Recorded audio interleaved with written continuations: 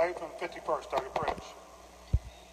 Uh, Thank you, Mr. Speaker. Will the sponsor of this amendment please yield?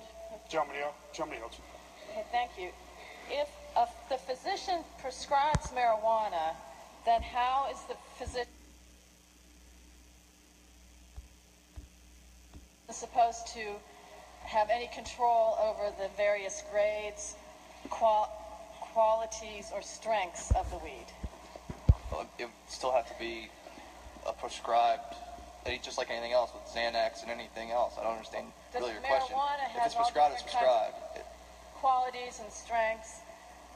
How There are would you- various strengths, just like there are various strengths of Xanax, Tylenol, codeine, anything so else it's under the supposed to write down the kind of weed that the um, patient is Uh, supposed I to I think you're going to the purchase. implementation of it, What? and it would be implemented at, by a prescription, just like practitioners prescribe other drugs that are within the schedules. So they would those are prescribe it hev- just like they would anything else.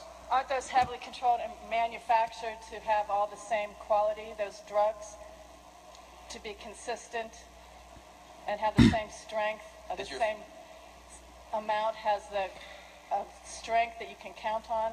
Would that be the same for weed and all the various qualities, grades, and strengths? Yeah, it would- this would be treated just like anything else, like a Xanax. We're taking to Schedule 4. That's where Xanax resides.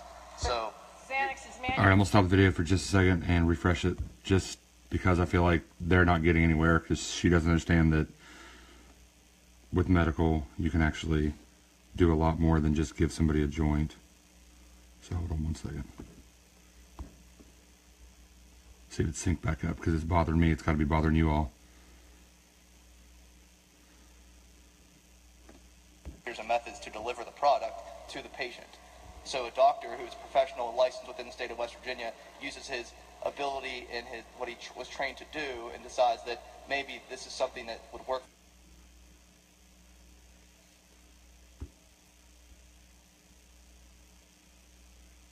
That's probably true. Come on now. Strengths, grades, and qualities of, of All right, looks like we're marijuana synced back up. I'm gonna shut up. out there. Yes, so I'm but not none sure that has how a killed doctor anybody would like have any prescription control pills. over that and then be held accountable. Okay, where would the patient buy this marijuana? What's that? Where would the patient buy the marijuana?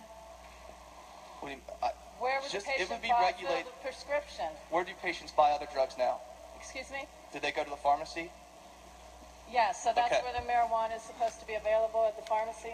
We would, I, I assume through the process, uh, that would become available in a pharmacy.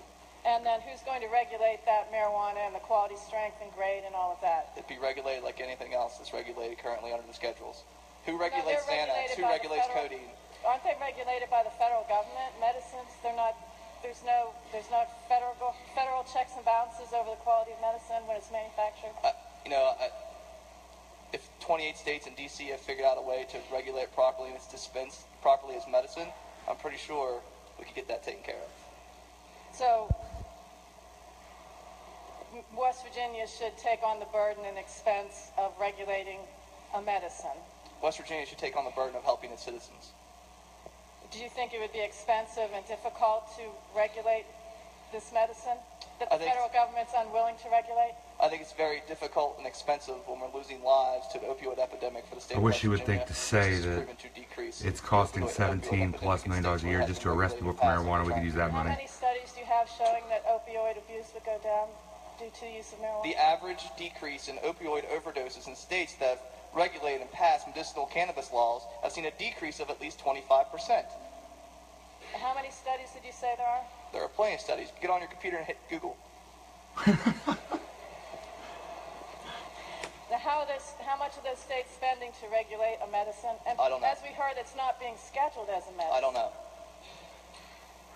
Thank you.